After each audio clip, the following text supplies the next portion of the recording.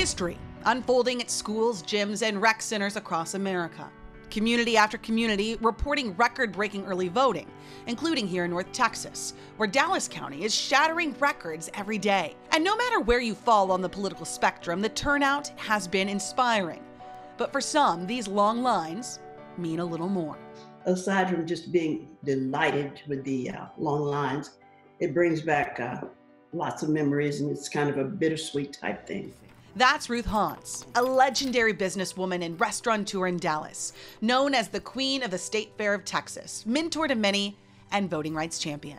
And Ruth can remember when long lines meant something else, especially for black voters in the South. And standing in line at that time meant a different, whole different ballgame than this. At 86 years old, Ruth has dedicated most of her life to voting rights and getting people registered to vote so we thought we would check in with her to get her take on the unprecedented turnout. We ended up getting a moving history lesson told through one woman's eyes, a woman who represents so many. And we even had to count the or estimate the number of jelly beans in a jar. When Ruth first started voting, it was well before the Voting Rights Act of 1965.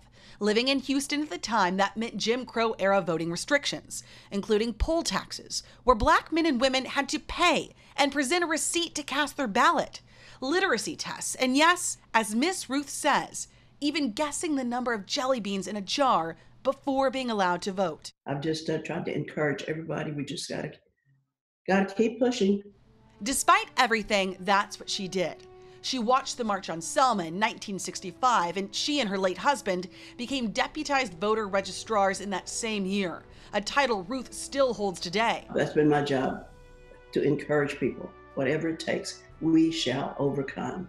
Like many, Ruth is dismayed by much of the current divisiveness, but sees hope and unity, citing this moment, the day after 9 11, as an America that we can be. We gotta love each other. I've gotta love a Republican, love a Democrat, whoever. It doesn't matter. These are all human beings. More recently, she sees hope in the name George Floyd, bringing people together to find a better way. There were so many, not only black people in the protest. There were so many white outstretched arms, not only white, just all colors. And this this gives me hope that somebody else actually kind of feels my plight or sees what has happened. And, and so this, hey, this just gave me so much encouragement. I'm, I'm feeling good right now.